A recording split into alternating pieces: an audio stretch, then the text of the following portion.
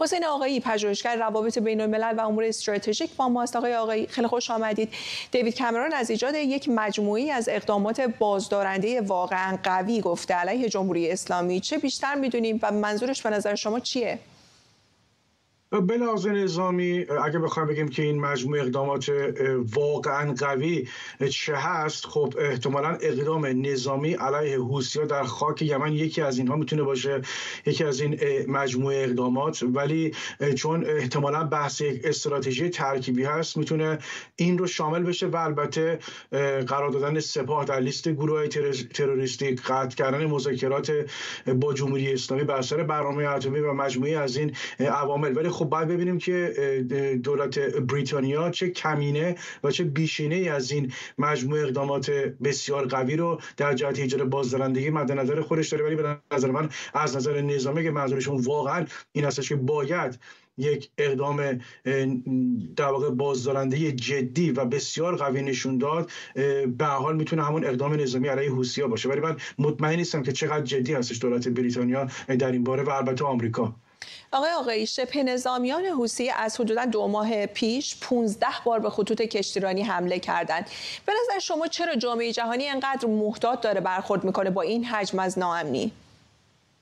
ببینید وضعیت به وجود اومده توی حوزه عملیاتی دریایی سنکام یعنی از دریای سرخ تا تنگه باب المندب و خلیج عدن و دریای عرب این محل حادثه اخیر این اگر این اتفاق افتاده در درجه اول به خاطر خیشتنداری بیش از حد آمریکا و البته میشه گفت ضعف و عدم تمایل دولت بایدن برای ایجاد بازدارندگی کارآمد مؤثر و فوری در برابر حوثی‌ها و جمهوری اسلامی هست.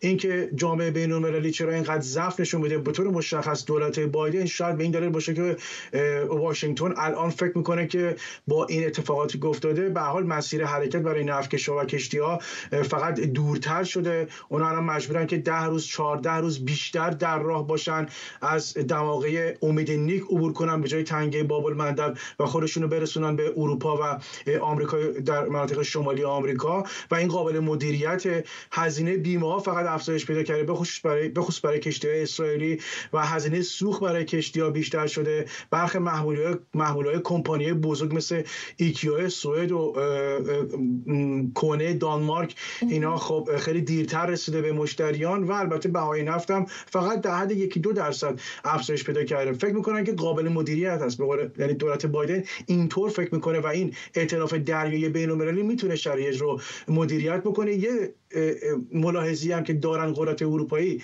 و آمریکایی این هستش که میترسن یک جبهه جنگ جدیدی تو منطقه باز بشه. درست وسط این جبهه جنگ بین حماس و اسرائیل و البته مبادا جمهوری اسلامی از این کار تحت خودش بخواد علیه غرب استفاده کنه. حدودا یک دقیقه وقت داریم. شما فکر می‌کنین انتقادها به دولت بایدن درباره رویکردش در مورد برخورد با حوسی ها موجه است؟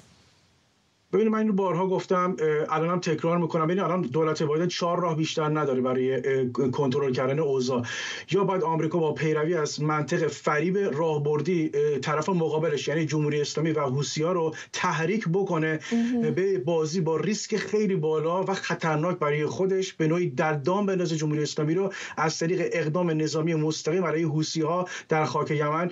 یا باید مانع از عملیات زمینی ارتش اسرائیل بشه که به نظر من اسرائیل کوتاه نمیاد. یا باید یک توافق صلح یا آتشبس دائمی بین عربستان و حوثی‌ها در سریعترین زمان ممکن با وساطت آمریکا برقرار بشه که آمریکا زمان برای این نداره یا اینکه همین ائتلاف بین‌المللی دریایی رو تقویت بکنه از طریق عقد نظامی نه حرف و فقط بر اساس طرح یا اینکه اسرائیل باید وارد معرکه بشه. به نظر من این وضعیت ادامه پذیر نیست و یه جای آمریکا مجبور میشه ممکنه که احتمالاً اقدام نظامی انجام بده. حسین آقایی پژوهشگر روابط بین‌الملل و امور استراتژیک خیلی متشکرم از توضیحاتتون.